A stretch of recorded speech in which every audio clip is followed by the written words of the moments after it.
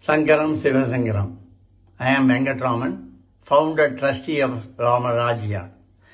I am associated with Baba for over 25 years. Baba has introduced strict systems of accounting of the trust. Every pie is counted and we cannot do anything with the account funds. No misuse of funds is possible in our trust accounts. Trust accounts are regularly audited and certified to be true. By the way, we are receiving a lot of messages and calls from our Baba's devotees whether we need funds to meet Baba's legal expenses. Sorry, we need no funds from devotees for Baba's legal expenses.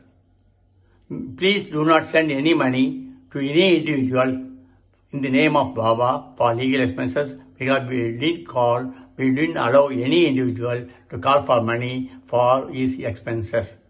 Thank you. God bless you all.